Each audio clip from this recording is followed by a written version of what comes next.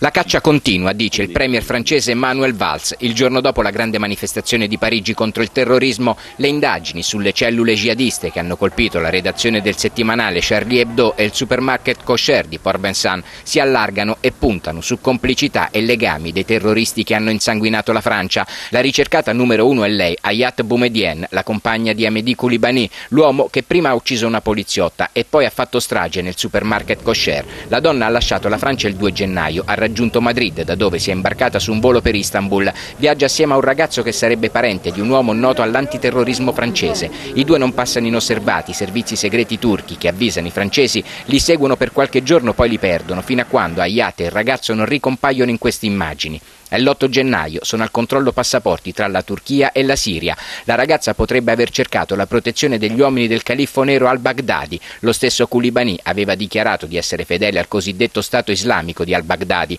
Lo aveva fatto in questo video comparso in rete solo ieri e per poche ore, una circostanza che avvalorerebbe la tesi secondo la quale Koulibaly avrebbe avuto almeno un complice. Secondo uno degli ostaggi del negozio kosher, inoltre, il terrorista avrebbe avuto con sé una telecamerina e un computer. Durante l'assedio di venerdì pomeriggio l'uomo potrebbe aver inviato filmati via mail a qualcuno, in Francia, in Siria o dove. Questo stanno cercando di scoprire gli investigatori.